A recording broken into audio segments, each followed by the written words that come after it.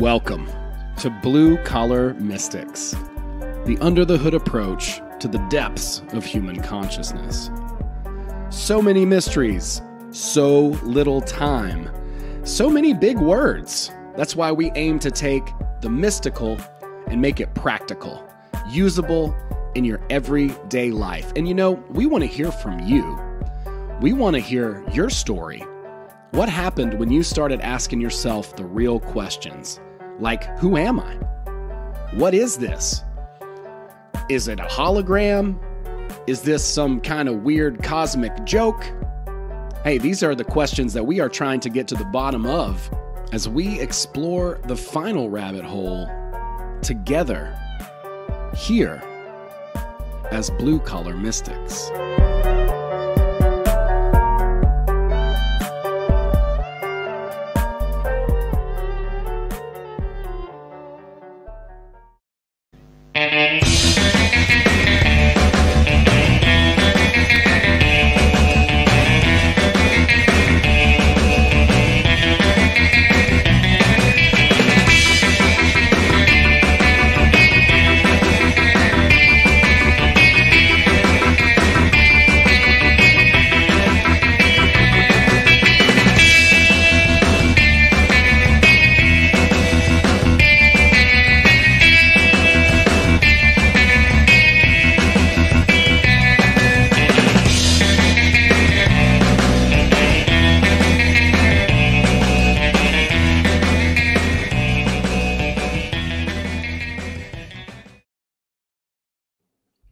What's up, everybody? Welcome to this live stream. We're on a transurfing safari, myself and Abbie Johnson. Welcome, Abbie. How you doing? I'm great. How are you? I'm doing great. I am. Uh, I've been getting ready to hit the road all day, doing laundry and cleaning the house and packing suitcases and stuff. And we were just talking a little bit about what your frustrations are being on the road as a bodybuilder, having to pack all your meals and figure all that out. I can only imagine. Oh, it's nuts. And then I went last time I went to the airport to go meet with the Secret Society of Good Guys in real life. And when I went, I put all my protein in individual, like, so I wouldn't have to bring my scale, which I brought it anyway. But I put all my protein powder in individual baggies. And usually nobody has any problem with it. Well, my bag beeps, right? So every individual bag they have to swab because apparently um, protein powder ha- is like has something that's similar to ingredients in bombs. So then they had to swab my entire my entire bag, every single compartment. So yeah, good thing I wasn't running late. Wow. But it's like you do all this footwork so that way you can eat all your meals like you because you're eating on a meal plan, you eat what you're supposed to eat all the time. You, so on top of laundry and packing all this other things. You do all that and then then it backfires. Yeah, that's hilarious, you know. but uh but yeah, I don't know. It's probably one of my uh favorite um feelings to just be about to go somewhere, you know, embark on a new adventure. You're not really sure what's going to happen you have some ideas, but there's going to be surprises and it's exciting, you know. My grandfather used to say before like a big fishing trip, he would say like the anticipation is the best part. I hated it when he said that. but then I would just lay on the couch and have visions in my head of catching giant bass, you know, and then we would wake up the next morning at 5:30, load the fishing uh, boat up and stop by the gas station, get some mealworms and like a Yoo-hoo chocolate drink or something. And then we'd get out onto the lake and catch nothing. I, I remember I remember he when the childproof lighters first came out and he got a childproof lighter from the gas station and he was a big time smoker. And we get halfway out and into the lake, sit, you know, sit down. He drops the anchor or whatever. He sits, he starts trying to light his cigarette and he can't figure it out. oh, he just lost it. Fucking tossed the lighter in the lake and then we just went right back into shore, dude. I, yeah, you gotta have a cigarette. Oh, I mean, you don't go out into the middle of the lake for peace and quiet and not have a cigarette, right? Like if that, if Hell no. oh my god, so funny. But no, I'm I'm really excited. Um, gonna be we're he- headed out. I'll be in Florida for a couple of days and then uh, over to New Orleans. And what I really want to try to do is make some videos while I'm out on the road. I'm going to try and stop at this place that is supposedly the uh, Fountain of Youth, the old Fountain of Youth. It's like Ponce de Leon Springs in North Florida. So we're going to stop there tomorrow, try and shoot a video and have that up. Try to shoot a video while we're at the beach, you know, and just try to make some fun content along the way and kind of engage on the tour uh, as well. So are you aiming for 25 in the Fountain of Youth or what? No, I'm just trying to stay here where I'm at. Just I'm just gonna kick it Level off. We're good. Neutral 41. You know, we're good right There we- here. I'm fine with that. Um, yeah, no, I uh I'm excited I've seen photos of it. It's absolutely a beautiful place. So I don't really know much about the lore of it, but I do know that it's like really pretty and it'll be a great backdrop to uh to shoot a video or two on. And if anybody has suggestions on topics or ideas for videos, shoot me a message. If you're going to be in New Orleans this weekend, shoot me a message. If you're going to the Grimerica thing for the eclipse, shoot me a message. If you're going to be in Austin on the 9th or 10th, shoot me a message, or Houston on the 11th, or Panama City on the 12th and 13th. I'm we're kicking it off Panama City, and then we're basically ending it there as well. So it'll be a lot of fun. Um, but anyway, yeah, I'm going to try to make the most of the time and make some fun, cool content, post it up on the YouTube channel. So anybody has um, ideas or suggestions, I'm I'm all ears. You know, I'm here to I'm here to please. But uh, but yeah, I've been making obviously a bunch of transurfing stuff. Uh, I feel like you know there's some good videos I've been putting up lately. Um, check into that stuff, and uh, I'll continue on that as a topic. But I'll probably try to pick some more like nuanced things out. Perhaps this chapter that we're discussing today might be a really good option for a case study. Are you to practice it? A hundred percent. Yeah. And this is honestly this chapter, what we're talking about today, which is like a, a weird word if you're unfamiliar with reality transurfing, called frailing, is one of the more um, nuanced chapters and something that I definitely need to continue to practice. I have a couple of examples of this principle working in action, but it's something that I definitely need to understand better and get a, a clearer grasp of in in the moment experientially i would say Same. I think um when I've read this chapter in the past, it wasn't that exciting to me. so it was something that I'm like, okay, I get it conceptually wise and all of that, but like I don't know. It just it's the last I was more excited about a lot of the other things. So yeah i mean my greater practices. yeah fair enough and this is something that um i think it's very helpful. It goes hand in hand with outer intention so we're gonna we're gonna break this down to the best of our ability. Um obviously we're all ears up here too y'all out there in the chat. Appreciate y'all being out there. I see your comments. Thank you for hanging out and kicking it. Much love. And um yeah so don't don't uh don't hesitate to chime in in there in the chat. You guys are great um, we definitely want to interact on this but the idea basically uh, to start it all off is frailing which is like this weird word nobody's ever heard i don't think until this book but he says earlier in the book that every soul has a frail or basically it's the shape of the soul. That's the way i could probably think of it. One of the specific sort of metaphors in this book is that we are like a suspended drop in the air of the ocean and that's kind of what this incarnation is as a life form as a human being in this in this experience that we are like a drop of the ocean suspended. So we have these parameters that define us as our soul. We have a, a specific shape that our heart or soul is. And because of that shape, we have a personality. We are a specific and unique expression of the infinite, of the divine. And in that form, uh, eventually we will once again rejoin the ocean. But while we're here in that form, we want to embrace the shape of that soul to the fullest. That's what's going to give us the maximum experience here, so to speak.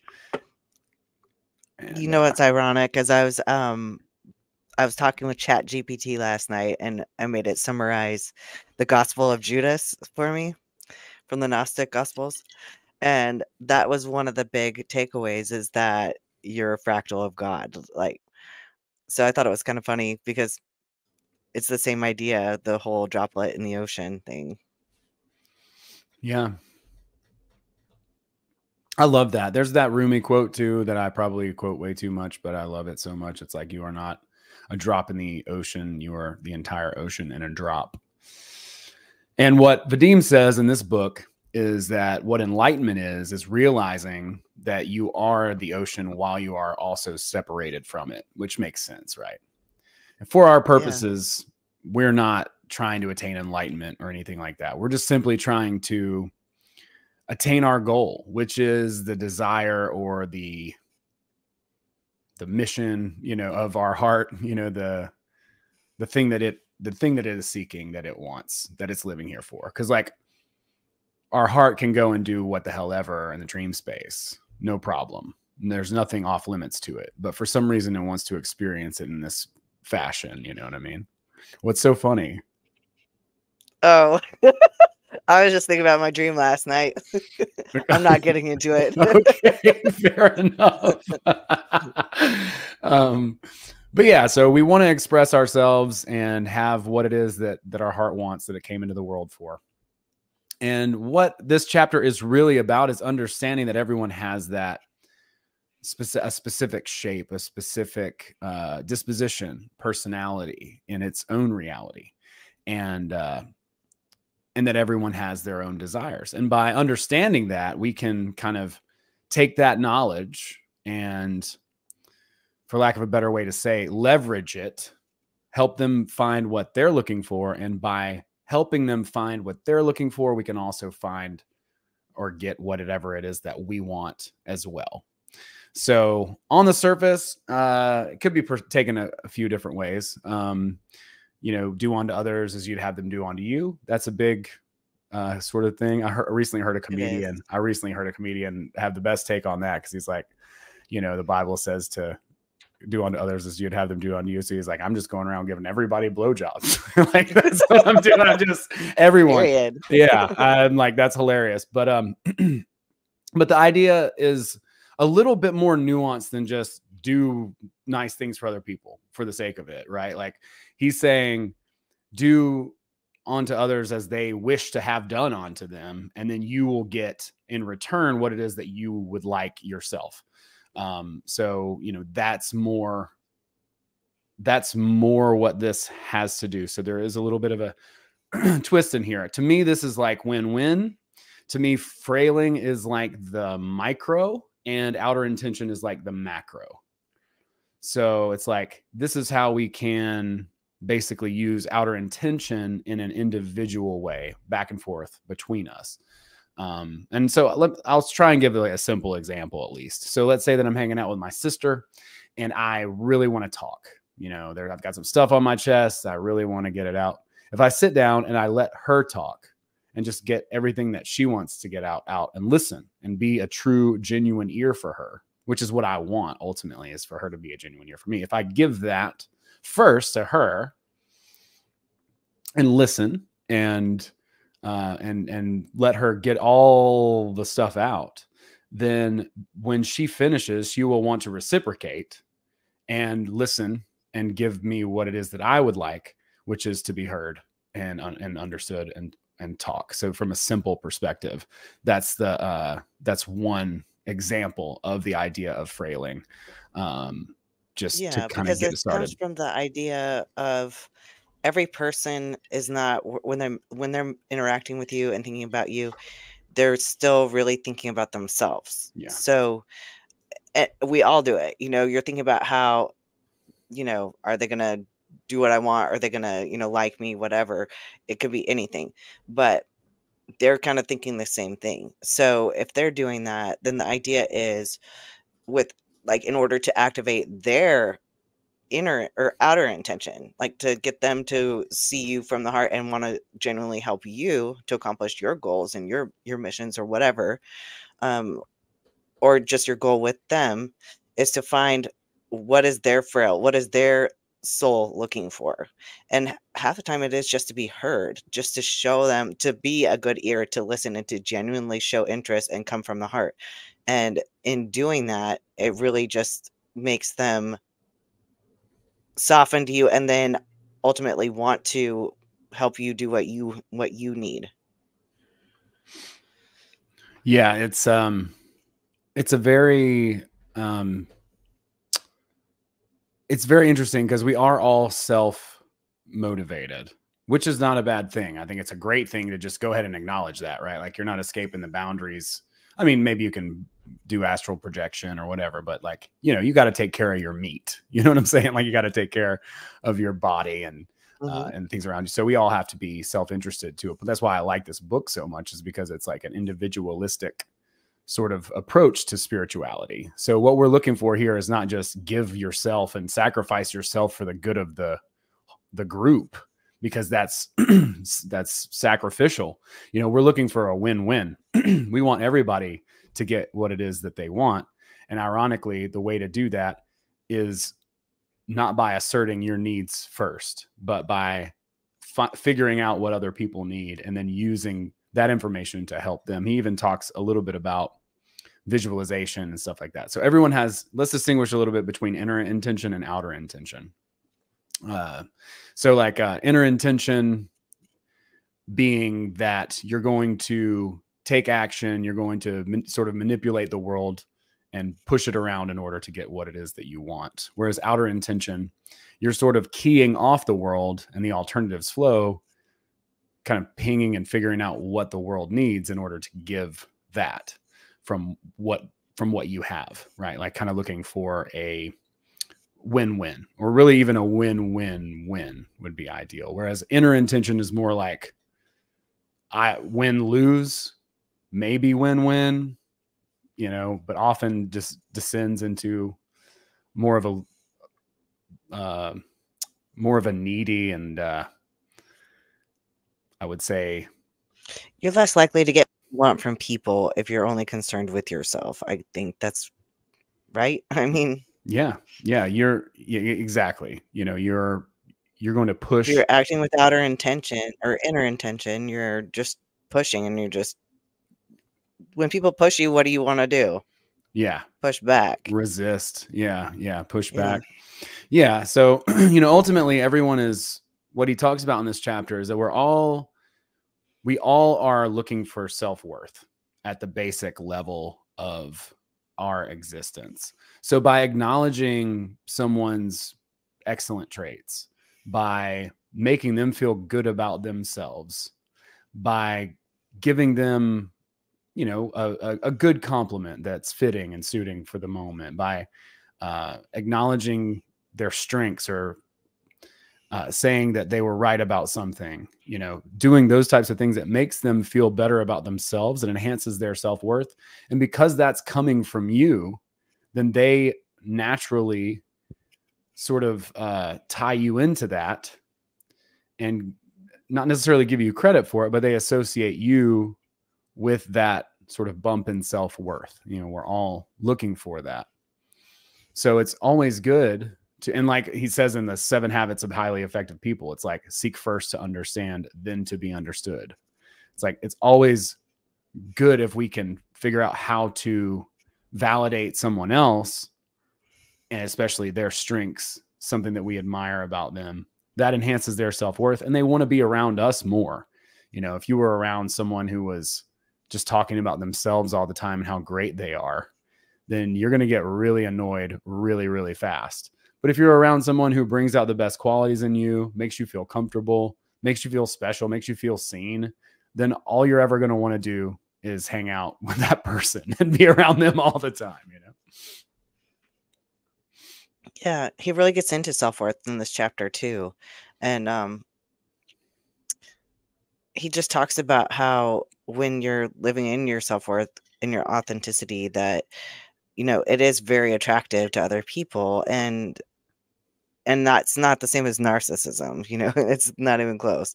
It's just you know when you're living with for your goal and your door and it's weird that he brought i felt like it was weird because i felt like he brought up a lot of the energy stuff and everything too and i i didn't quite see what it had to do with frailing it seemed like it was more a addition to the last chapter but but i guess really kind of what it comes down to is charm so when you have good energy and your meridians aren't blocked and you're practicing your energy stuff to widen your meridians and um and you're living towards your goal and your door and then you practice frailing you know like your self-worth and everything shines through and it really is is very charming and attractive to other people.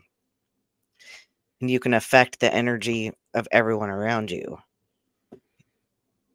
Yeah it's like the firefly thing in Tufti where he's like you know talking about um being being a source of light you know and the more that you connect heart and mind the more charm you exude the more you're actively like really being more authentically yourself and people feel comfortable around that and they're attracted to that and drawn to that and uh that's that's really where your heart and your mind are creating like a positive feedback loop where you you love your heart and your mind you're you know you what however he says it like you love your heart with all your mind. But you have you know mutual adoration between the heart and mind and that just exudes charm and starts to bring people make people basically more endeared to you. Yeah um he he does talk about it in romantic relationships slightly but i think it's more along the terms of attraction because if somebody's just there they're very like they want you to like them and or you want somebody to like you really really bad first of all you're put you know you're putting off a lot of um excess potential there you know putting a lot of self-importance on it. And then it's like you're probably coming off as an asshole really instead of like what is this person like listen to them talk? What do they like? Like what what are they looking for? You know those type of things are more likely to get you in with the person and and start a mutual attraction than being all about yourself. Yeah i i have to say because he basically throws his hands up about the idea of like romantic love or mutual love ro- whatever you want to call it. And he's like that's beyond the scope of this you know i don't have the answers for that. And i'm like eh, me either buddy. Um fair enough. Uh but join the club. Yeah yeah you're not the only one. But that is what everyone well not everyone but it is what a lot of people are looking for and interested in. Um, and we can talk about that. I, I would i would say that this chapter is more along the lines of learning to really establish more of a friend friendly relationship or mm-hmm. a business relationship than it would be yeah. good practice for a romantic relationship. Yeah, but and I think it's good to delineate because like we'll go ahead and like kind of go off the rail and talk about this a little bit because um I know somebody that you had interviewed a long time in the past who was an expert on reality transurfing talked about sex and that in the in the instance of sex that you should do frailing where you and I thought it was really funny because then I found this article that Vadim Zeland wrote. It's not in any of his books that I know of, but it was on Medium, I think it was. And it was specifically about sex. And he said, no, with sex, you never practice frailing. I was like, oh, really? So this person was wrong. I, I like when people are wrong.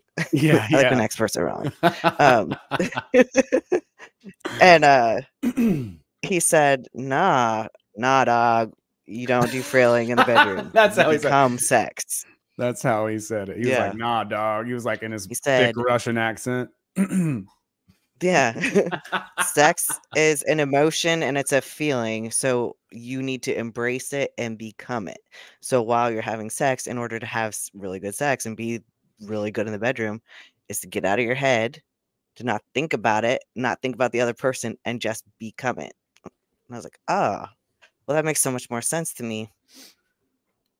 Yeah, I mean, there's definitely uh, some different elements that go along depending on the type of relationship you're establishing with someone, and so yeah, so I w- I do say to say like this particular chapter, learning about frailing, and really the whole book is more about you know professional relationships, friendships, stuff like that for the idea of this. I mean, of course, this comes in handy For too. finding your goal.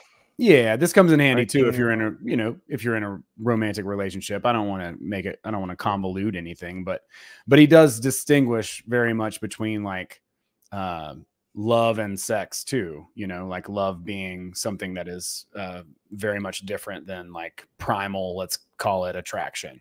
Um, that's something that's definitely uh, those two things are not really the same thing. It's hard to it's hard to lump them together. I'll just say that. Yeah, It is. Yeah.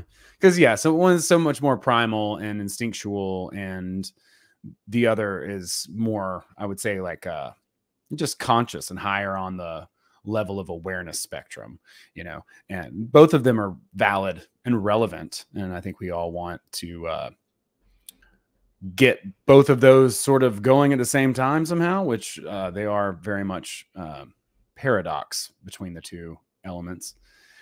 But just throwing that out there that this is really not written about finding your twin flame. Okay, if you're going to try and you know meet your your person or whatever, uh, or have a or have a relationship that has because you need polarity in most romantic relationships. This particular chapter, and really the book itself, is probably not the best guidebook for that. There's probably other stuff that you could uh, look into. This is more like how to find ways to accomplish your goal while also helping other people accomplish theirs. So, what is their inner intention? if you fulfill their inner intention, you are actively using outer intention in order to meet your own goal. So, I'm going to try to think of some more examples of this. And I would love to hear anybody's examples if they have experienced this phenomenon called frailing in their life. And I'll give one example. When I first read this book, I ran into the Bell's grocery store down here. My grandmother, who's no longer with us now, but she was quite a quite a character. Loved her very much. Uh, she needed some grapes and like some hard candies, you know, grandma candy. And uh and so she sent me over to the grocery store and I went and got those couple of things and I just went and grabbed them real quick. I was kind of in a hurry, had something else to do, whatever. So I'm walking up to the checkout line and I'm about to check in and then there's a lady here just walking up at the same exact time of me as me and she's got a full grocery cart full of stuff just packed to the hip, you know, all the way what six hundred dollars worth of groceries now in 2024. It would have been maybe seventy five dollars worth back then when this happened. But we both get there at the same time. I look at her, she looks at me. I've got two things in my hand. She's got a a, a cart full of stuff, and I go, "Go ahead." Like I just waved her on to go before me, and then I think she just saw the absurdity of the situation that I had given her the thing that I wanted, which was to get the hell out of there, and she goes no, you go ahead first, you know, and she kind of laughed. And so, you know, she let me go first. This is not a person that was particularly, um, I would say, sunny uh, disposition. It was not a sunny disposition. It was someone who kind of seemed a little bit like they were having a tough day. And, uh, and so I think they saw the silliness in the, in the situation, let me go ahead of them. But to me, that was like one of the first times I noticed this phenomenon in action and it kind of blew my mind. Uh, and it was and it was really cool. So that's one example of this. And then this is a specific you know idea or is it a technique i don't fucking know i hate the idea of like anything being a technique it just sounds so I manipulative know it does sound like manipulation.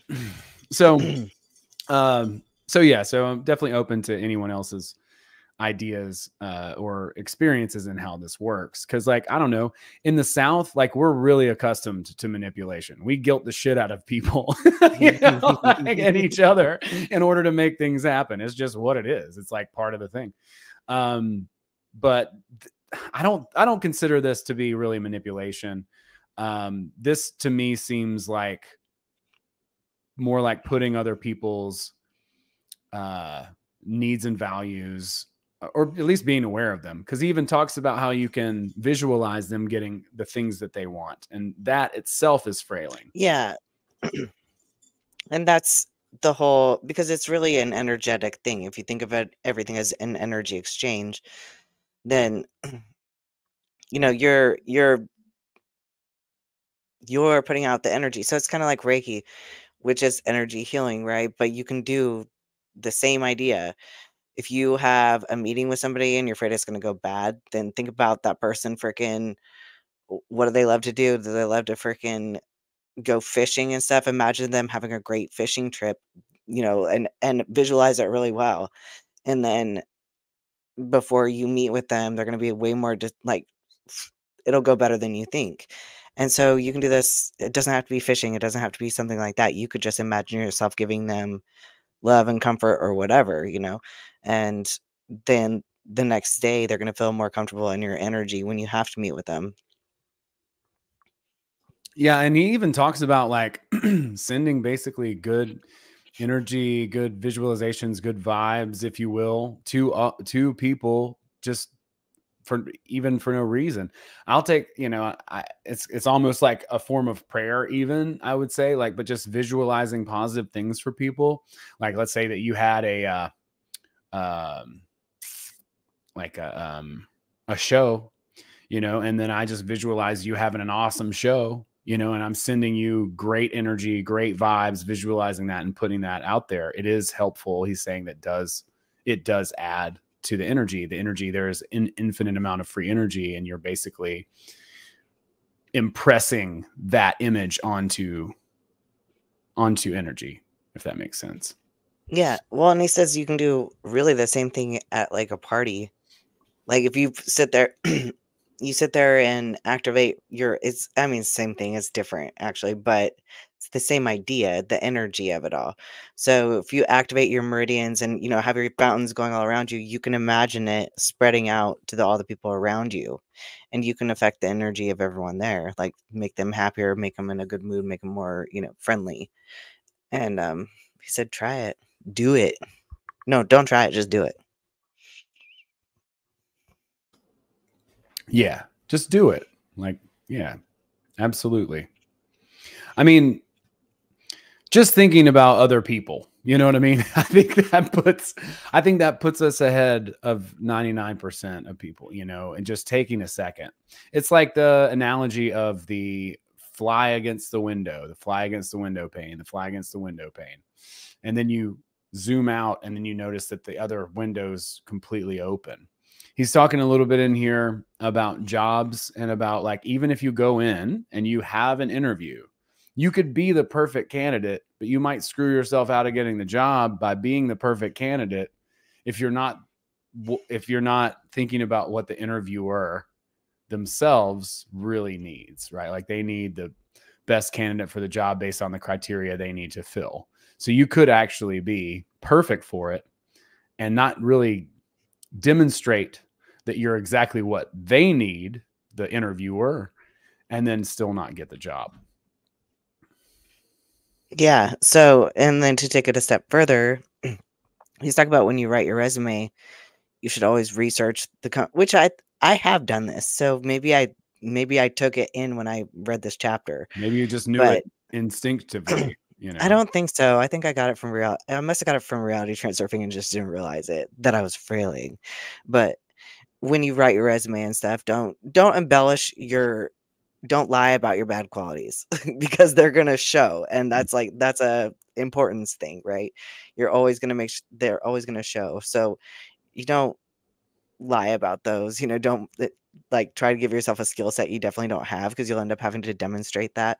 But research the company. What are their values? What are their, you know, what are their core statements? What are they, you know, what are they about? Um, and then you need to reflect that in your resume. And the same idea, you know, with the person interviewing you. If you know anything about them, you need to know, uh, like, you could, should ask what they're looking for. And then whatever they're looking for, that's what you write into your resume. yeah, that's smart. I mean, that's pretty clever, you know. Um, that's just doing some research too, you know. yeah. no, that's so smart. I love that. Um, let's it is just research, but I mean, it is. It's. I guess that's a, but that's kind of what frailing is, right? What does the other person need? How can I help them to get that, or make them feel like they could get it? And then, by doing that, how is that going to benefit me? Yeah. Or how could it possibly benefit me?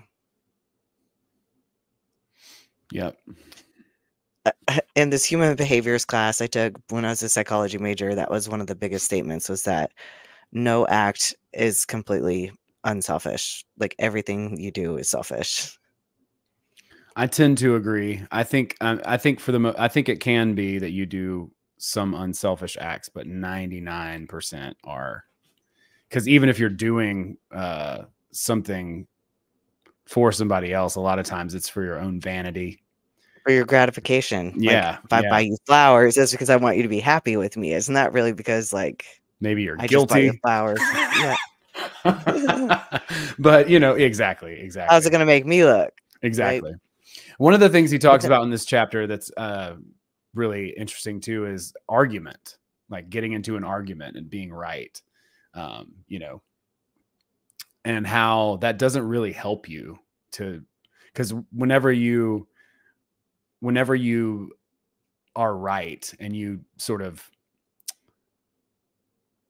demonstrate your authority or that you knew better or whatever you kind of make an enemy out of the person and you hurt their self-worth instead of um, really making your point. Even even if you do make your point and you're right he's like you still lose the argument because you have alienated someone and made an enemy out of them. And it does because subconsciously the next thing that happens is they go home they know they lost the argument but then they think of all the ways that they were valid and that they were right. And so then yeah they're never like consciously it's never going to be right between you two yeah, I've had people sometimes tell me that I should push back more on the show, like when I have different people on the show who are like coming to talk about whatever. I've had some crazy people on the show. I've had, you know, alien UFO researchers and people who are kind of maybe even clearly selling some sort of a snake oil. You know what I mean? It's like, you know, do you push back on that what's the what's the positive that can come out of it? Maybe some drama on your youtube channel you know what i mean? Maybe it's a little bit more uh, contentious or uh, there's a little bit of uh, controversy i guess is the thing that could happen with that.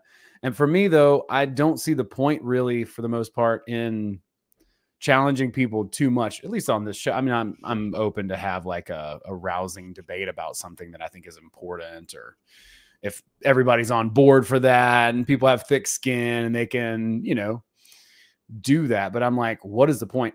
I also grew up uh, listening to Coast to Coast AM and George Noory and Art Bell before him. Really, Art Bell was I fell in love with. I still like George Noory, but but you know, he would let people talk about whatever it was. You know what I mean?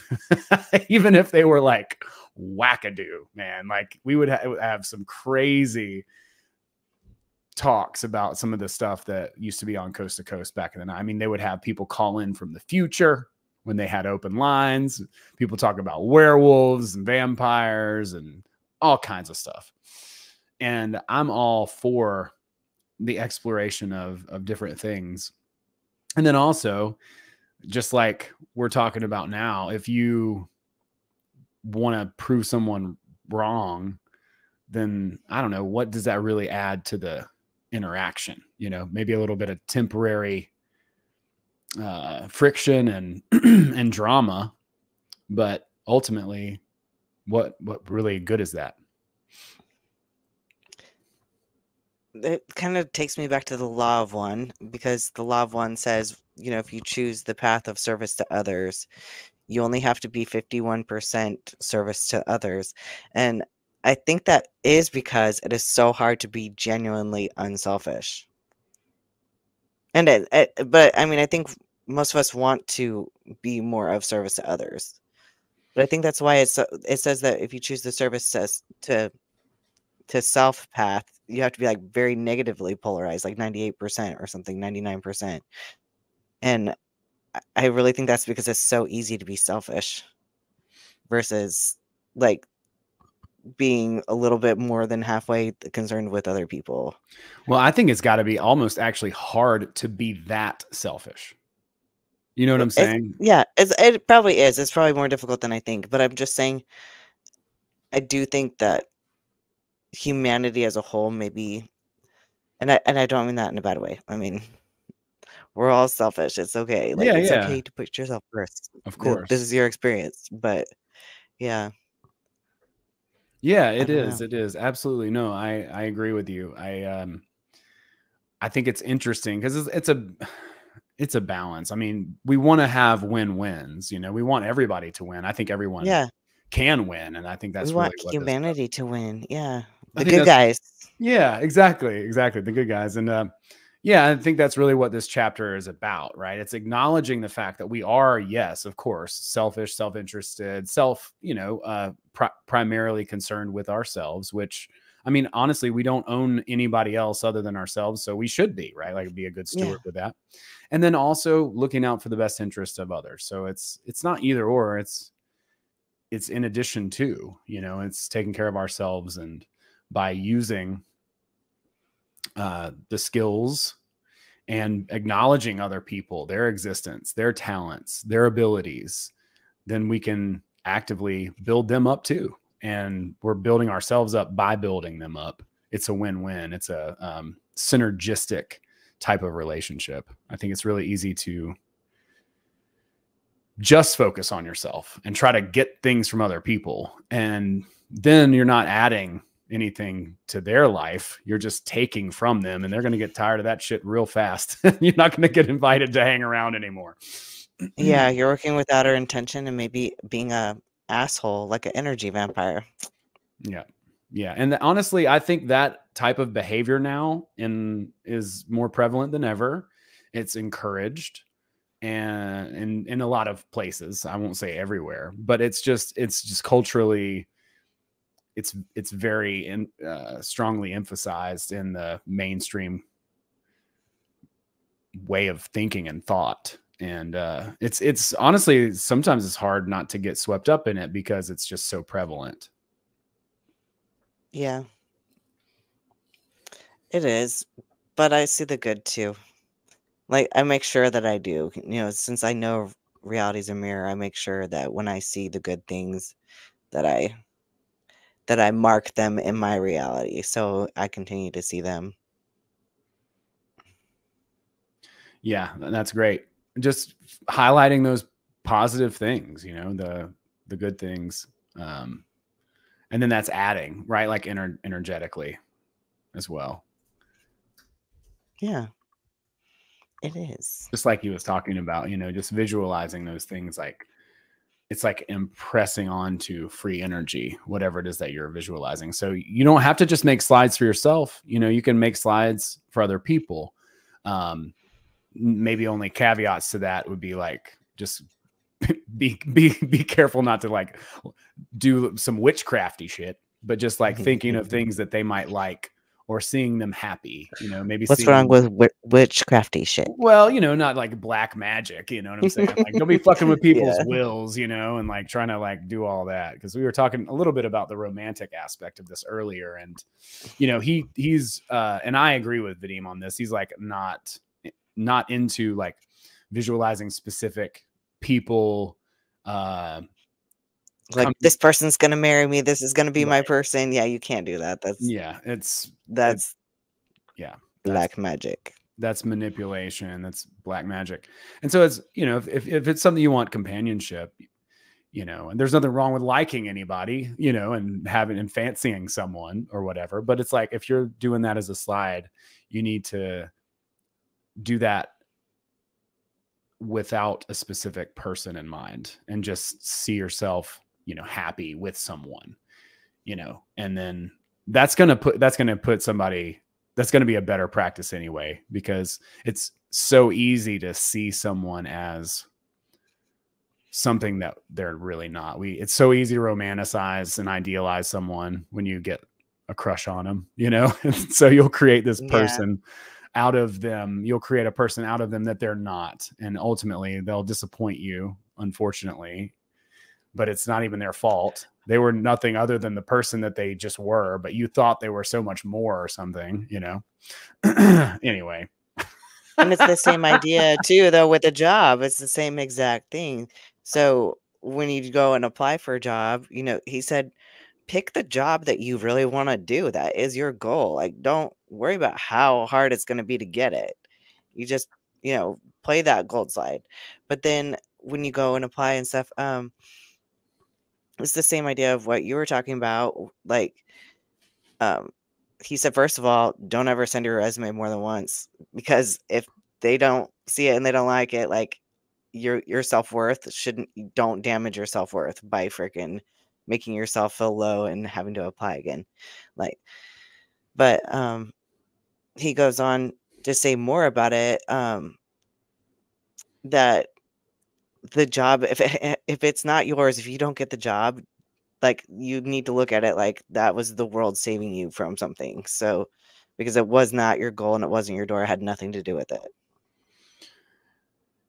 yeah, so it's same idea as with a person it's like you're dodging a bullet by not getting that thing Yeah, it's really it, it can be very hard because like I don't know what happens chemically. I, I've started like read read a couple books. I read this one book called The Science of Kissing, which is uh pretty interesting.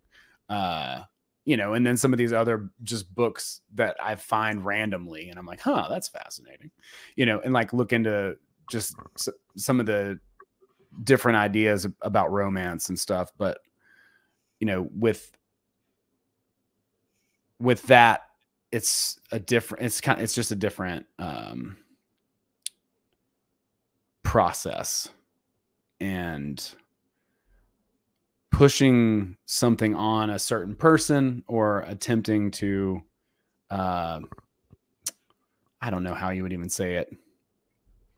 Coerce i guess? I think it's coercion. Attempting to coerce somebody into something that's, that's, a not yeah. word, yeah. Yeah that's not uh that's not so instead stay open stay open to the flow of alternatives and look for what it is that that you want. Because ultimately what you're looking for if you're trying to get into a relationship is an internal feeling of yourself really. It's a lot of i think a lot of validation sometimes unfortunately.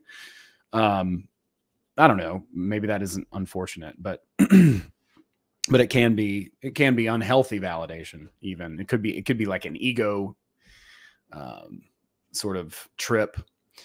But yeah if something doesn't work out with that specific person that you have in mind or whatever count your blessings move on and just instead focus on what it is that you really want just like the job right? Like you want to be doing what all day? What does that look like? You know every job can have a glamorous interpretation but if you don't actually like doing the thing that is required to do that job then you're just going to be miserable in it and you might have a status that comes along with it and maybe feel proud of that but you're not going to be enjoying that job you know and i think the same can be the, the that way for a partner too it's like you see somebody shiny you're like oh i'd look good with them. People would think i was cool if i dated this person or something like i don't even know like that's so crazy but um but i think that can be a motivating factor so if it doesn't work out count your blessings just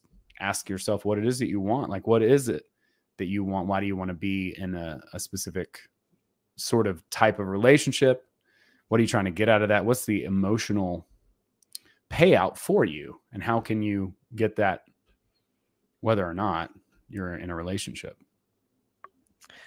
So, what about the whole piglet thing? What point was he trying to drive home with that? Because I mean, I thought about bringing up the whole piglet story here, but I'm like, really? I feel like he was kind of getting more back into balancing forces and stuff, but I'm I don't know. will you just give us a short short synopsis of the piglet story So he's he basically said, imagine that you always have a piglet in your arm and you're carrying this piglet around, and it's always squealing and making noise, and you know, um, sometimes you need it to not do that. So eventually, you know, the only way to get it to stop is probably to set it down.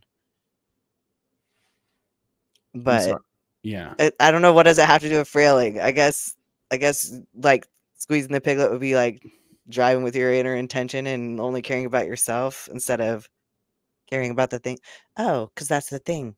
He does get into it. He gets into love a little bit, and he talks about that's the thing though is that love is always about it's it's coming from a, a real place it's not possession it never is possession it, that it's literally you have to remember that if you love something that the frailing part of that is allowing them to be who they are and yeah and allowing them to walk away from you and still Yeah. loving them even if they do which is the fucking hardest part right like that's what we want that's what our idea i don't know if that's more of a cultural thing or if that's more biological like i said i've been like this stuff is fascinating to me i can't help but want to understand a little bit better but i think you know that sort of lends itself to just tr- like that true unconditional love. Like the example earlier in the book is not picking the flower, seeing the flower in the field and just admiring it there for what it is and not trying to pick it up and put it in a vase and watch it die. It's like instead, you know, we see something that we love, cherish, admire, and we just admire it for the sake of the fact that we admire it and it makes us feel a certain way inside. I think that's really what he's trying to point out as opposed to trying to again probably coerce or push force you know manipulate some sort of a, an agreement or an arrangement to make us feel settled uh, to make us feel in control like we are dominating that thing or um, controlling it somehow and it's like the more that you try to take control, it's like water slipping through your fingertips. You're trying to pick up water. and the more that you're able to love unconditionally without possession the more that people want to be a part of that they want and that doesn't necessarily even mean romantic it means in all situations if you have a heart that is capable of unconditional love then you know that is frailing and people want to be a part of that they want to feel that and they want to be like to have what you're willing to offer and in respect i think that you teach them what it means and so that you also get that back Yeah, I I agree. I mean, I think it ultimately, honestly, like all of life, uh, if there was a challenge, and I've i've said this, it's been a while, but I I kind of came to this conclusion years ago. It's like if there is a test or some meaning of life, it's to choose unconditional love, right? If there is a test, you know, that's really to me what it would boil down to, you know. And you're gonna frail naturally if you're coming from a place of unconditional love. You're not, you have no reason to do any inner intention. It would, it wouldn't even make sense. You're not coming from a place where inner intention is part of the part of the script. It's all outer intention at that point.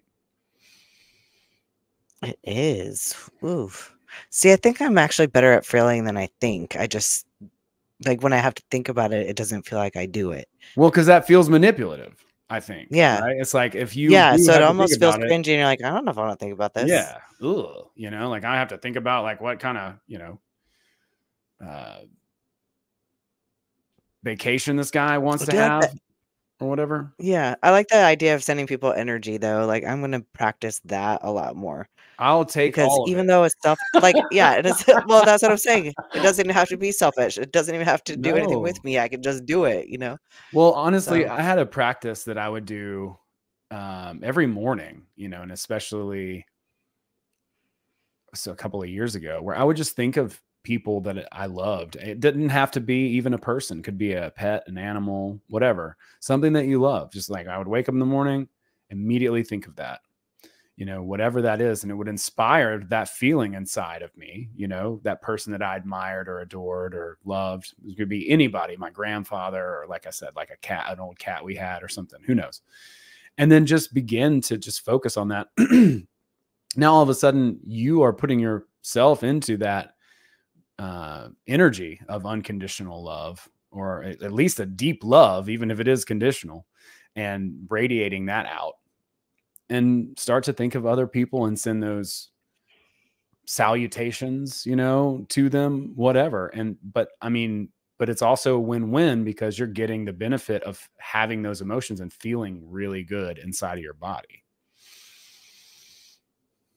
True. Yeah, that would be the payoff, huh? So yeah so like a gratitude list. One of the things that people talk about the most that people miss on a gratitude list is they write all the stuff down that they really are grateful for but then they forget to feel the gratitude. It's like that's the You know- point. Yeah well i used to start like that you know like do a list of the things i wanted to do, a gratitude list. But what it evolved to and i noticed like i've actually just noticed myself doing this recently like i started just doing it right when i woke up before i got out of bed. I do just say out loud like all these things that i'm grateful for. Well i thought i stopped doing it but the other morning i don't know probably like a, two months ago i noticed when i woke up like for whatever reason my conscious mind kicked on and i was doing gratitude without even like and i was feeling it because it's like my soul is straight coming out of like the dream state and i'm just happy as can be and i'm just like giving all this gratitude i don't even remember what i was saying i was thankful for. That's kind of like the amazing part of it all. Is that if you make it less of a practice and you know just start doing it it's crazy what what you do what, what practice is with. boring. Practice sucks. Play is fun. It is. And yeah i'm trying to shift my language a little bit too. It's like i gotta work on my act. It's like uh, well that doesn't sound fun. Sit down and work on a comedy act? Like yeah yeah why would you like want to do that? It'd be fun to play with your act though you know? That's a good time you know? So sometimes little shifts like that can definitely help too but that i mean that helped me and i and i just do morning pages now is what i've done for probably the past three right around three years and uh i don't know i might start doing the other thing again i might just change something else and doing that shit for three years it's a long time Well, it's funny that you said that though about like play instead of practice because I guess that's an example is that when I was a classroom teacher, like this would be an example of frailing, but if you can make learning fun and you turn it into a game, like because what do my students want? They don't want to sit here with a freaking textbook and listen to me lecture and they don't want to take notes and they don't want to learn per se. But if I make it a game, I I taught grammar that's like the most boring subject in the world, but it was so fun that my kids love my class. Every kid that I see like now that's in high school that had me as their grammar teacher is like, you are the best teacher. You're like you always, you know, I'll, I'll never forget your class. And it's because I made sure that learning didn't feel like a chore. So that would be frailing. Yeah, absolutely. What does a kid want? A kid wants to have fun, run around, have a good time, play, play a game. So you turn learning into a game. Now all of a sudden, you know, it's win-win. They're having It fun, they're getting what they want, and then you're doing what you need to do. You're getting your needs met as well. So that's a great example of it. I love that. Yeah, in Houston, actually, we're going to go through and do some. Uh, we're going to be messing with the forks, you know, and so we're going to go and meet some folks in a class and play with the forks a little bit and do some vibrational stuff there. And I'm excited about that. So we'll try and make it. I was trying to think of, of, of a fun game to incorporate with it to make it a little bit more entertaining and engaging. That's fun. Oh, Super fun. Super fun. I'm sure you can think of something. Oh yeah, for sure. Yeah, I'm really excited. Uh, but yeah, I think yeah, I mean, dude, unconditional love it trumps any technique. It does. What and if you can actually truly love someone unconditionally, which I'm not saying that's easy. But if you can, he's like, dude, no one can find that. It's irresistible. No one can find that anywhere else, you know, if you can. It's just I, I don't know. It's like it's interesting to love without attachment, you know, but because I don't know if it's a cultural thing. Again, back to that. I don't know if it's more cultural or more biological, the idea or need need to feel like you possess. Uh, it might be hormonal based on our biology. You know what I'm saying? I don't know, but um, being able to overcome that and to truly just love someone for who they are, regardless of how they, because if you, because if you place conditions on it, it becomes a conditional relationship. Now it's out of balance, and it always Yeah. will be.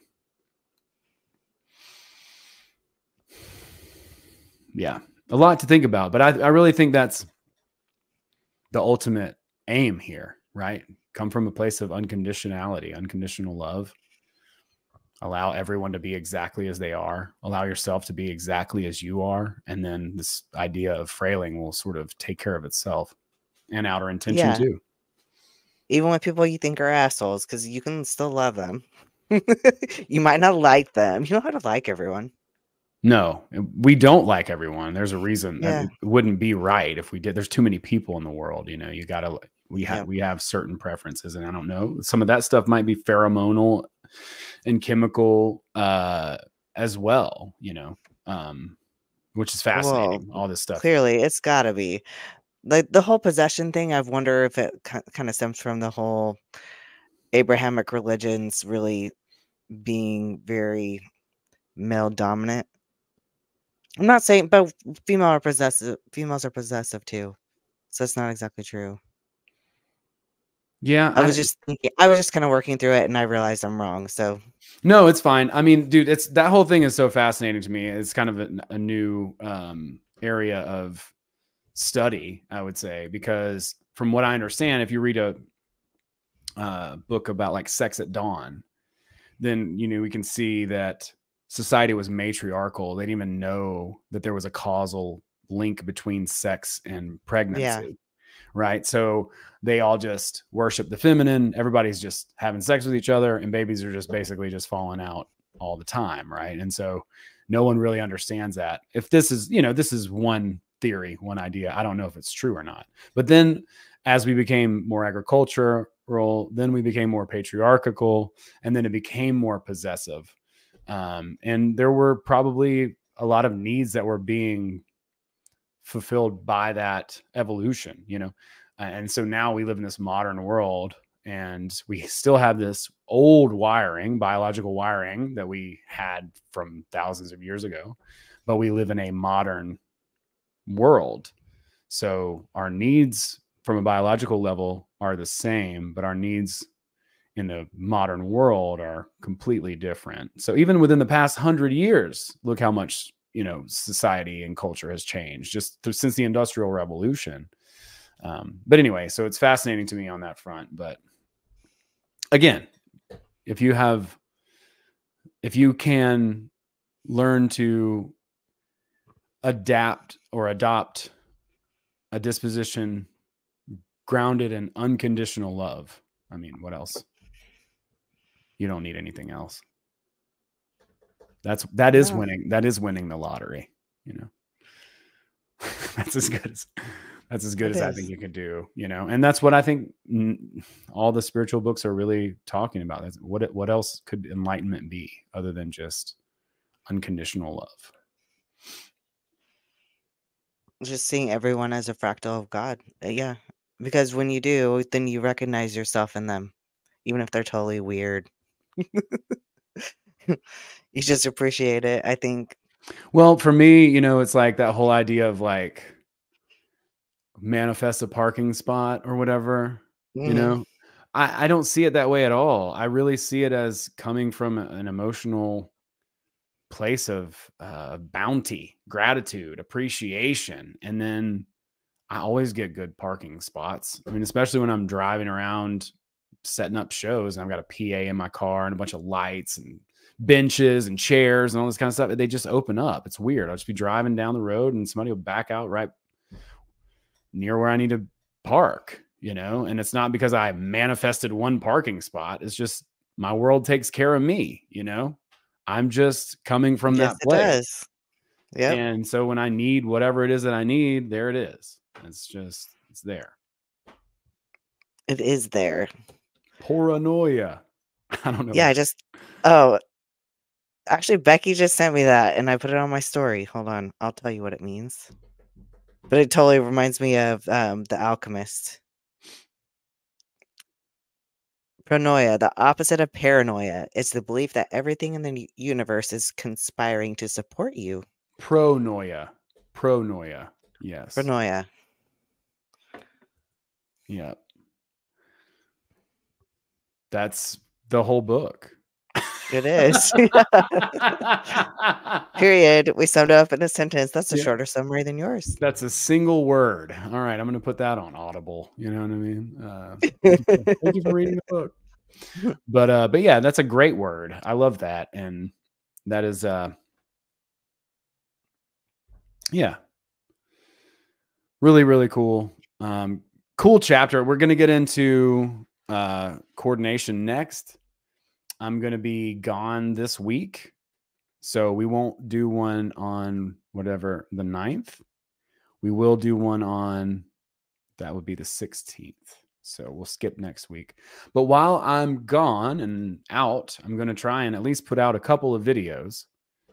So, you know, once again, if y'all have anything you can think of that could be a cool topic to cover, something you're curious about or have an idea about or whatever, shoot me a message. Um, I'm open to all kinds of stuff.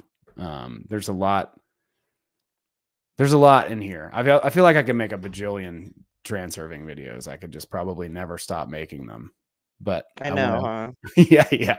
But I want to um but I want to make the ones that count. You know, I want to make the ones that people want to watch, right? Like from a from a frailing and outer intention perspective, you know. Like I do get a lot out of making the content. It helps it helps my knowledge, it deepens my knowledge. Um but I also want to make sure that it's something that's helpful for people. Where am I going? Oh, well, I'm so glad you asked, Ryan.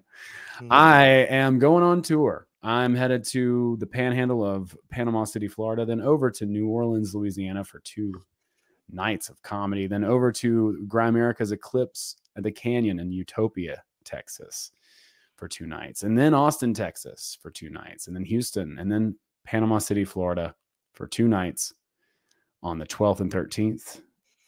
And I will be headed back home after that, but I'll be doing some comedy, making some videos hanging out, meeting some amazing people along the way.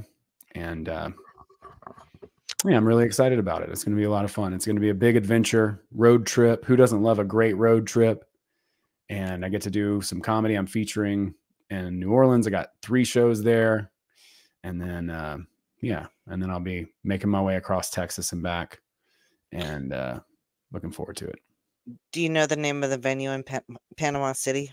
Yeah, one is one is Mosey's and the other one is Little Village.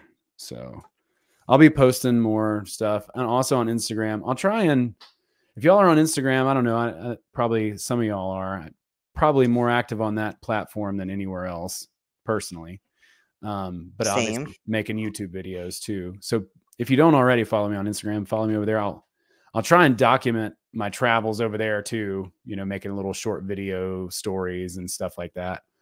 Um, but I'll make some longer form videos for YouTube and just basically, I want to talk about concepts. I don't want it just to be about, hey, I'm going here and I did this and look at this thing, you know. Um, but I will share some of that stuff on Instagram. It's shorter form content, you know, it's like little stories and stuff like that. I like to put pretty flowers and stuff in my story anyway. When I, I'm walking around, I'll see trees blooming or birds chirping or whatever, and I'll throw that up there. Um, I uh, I don't have I have one GoPro, but it's old, so I don't think I'll be using that too much. Uh, I'll be using my phone, and then I've got a Sony camera that uh, that also I'll be shooting some stuff with. But yeah, we're stopping at the what people claim to be the Fountain of Youth tomorrow, Ponce de Leon Springs in Florida. And then I'll be on the beach. I'll make a video on the beach in Panama City Beach uh, this next couple days. Then we'll shoot over New Orleans. Then near San Antonio for the Grimerica thing. Then Austin, Houston, and back to Panama City. So if y'all are anywhere around those parts, hit me up uh, shoot me a message and uh, love to hang out and see you and hang out and make sure that you kick it on the secret society of good guys streams on fridays Abbie tell everybody about what y'all are doing um we like to shoot the shit last week we shot the golden shit that's just the name of our episode so if you're not already liked and subscribed to secret society of good guys we usually pick a topic um, and we run with it. We dress up because we like to be fun like that. And we get into the philosophy of it. We get into conspiracy. We talk about there's no limits. We don't have any limits. We don't, we lean in. So whatever we're talking about, it gets weird and we like it weird. Weird is fun. So we usually run about four hours on Friday nights and we do another little two hour live stream with just the Secret Society of Good Guys Girls. Um, and that one's a prime time show. So we do it from like 9 to 11, I would say Central Standard Time. So, so yeah, check it out.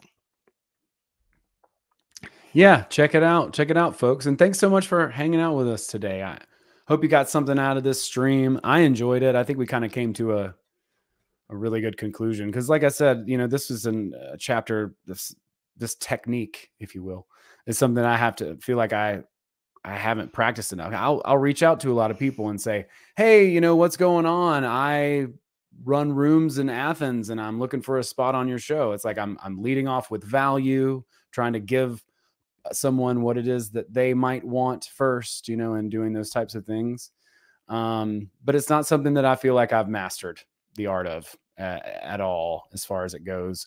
But that said, when we come from that place of unconditional love, uh, it's kind of more more of an automatic thing. It's not something that I think we have to Yeah. try to like strategize about. It's like, you know, and it's okay to ask for things too. He- One of the things that he says, he talks about gypsy hypnosis in this chapter too. I forgot to mention. that. Oh, he does. Yeah. Yeah. Yeah. Whenever you get on and you start to talk to somebody, then if you can get them to say yes two or three times, then they'll already be predisposed. You can ask simple questions and get simple yeses, but they'll already be in that mindset and they'll be open and more likely to say yes.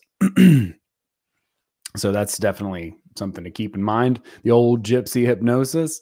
And uh, oh, there was one other thing I wanted to mention that he talked about in the book in, or in this chapter. Um, but I can't remember what it is now. I forgot it. But anyway, You took good notes this week too, I see. What- yeah. But yeah, no, it's a, it's a, it- it's a, it was really good. Unconditional love. I mean, if you come from that place, whatever, you got no, you got nobody to apologize to. You got nobody to try to impress. Whatever, dude. You know, the dude abides, I guess, if you will, sort of thing. Okay. Word. Word. All right. Thanks everybody. What a lively chat. Y'all are amazing. Thanks so much for being here. You're you're great and we appreciate you. Uh, like I said, I'll be shooting out a couple of videos over the next couple of weeks. Um, so I will be doing stuff. So be checking back, but we will ha- we will have Abbie and I back together on the I think that would be the 16th, the 16th of April. So we will be back in two weeks. So we're not, we're just, we're not, you know, we're just taking a, a short minute because I'll be on it's the a road. hiatus. Yes, it's a, like a mini hiatus. It's like the cutest, tiniest, teeniest hiatus that's ever been taken. It's not even really What's it called on my TV show when they like kind of do a little pause before they finish the rest of the season? I don't know. Like they do like like a like they'll do it like the back when you used to have to watch a TV show, wait every week, then like, you know, 10 weeks in, they decided to just do a recap everything. Yeah, you don't get a new episode. You have to wait. that's fun. Just it's just more edging. That's what we're doing. We're edging. Yeah. That's, that's what it's called. You want more, baby. That's right. But yeah, I don't know. Maybe I'll try to sum up some of the stuff we've talked about in one of the videos. But I'm really excited to see the Fountain of Youth. It looks really pretty. It should be gorgeous. I mean, it's spring now, so some of the videos that I shoot should look really cool just for the sheer fact that everything's in bloom. So, um, so yeah. So check back. Thank you so much for hanging out with us. You guys are amazing. Much, much love and many, many blessings to each and every one of you and all the people around there. I'm, I'm frailing you hard right now, everybody. Um, Same. just visualizing uh, everybody chilling in a in a quantum hammock, you know, with their dreams coming true. Um, just a nice cool breeze and um, a sunny, clear day. All right. we'll see you guys very, very soon. Much love. And yeah, please pass this along if you enjoyed it. Share it out, like it, comment, join the Telegram, join the Facebook group if you're on there. And thank you so much. We'll see y'all soon. Peace. Bye.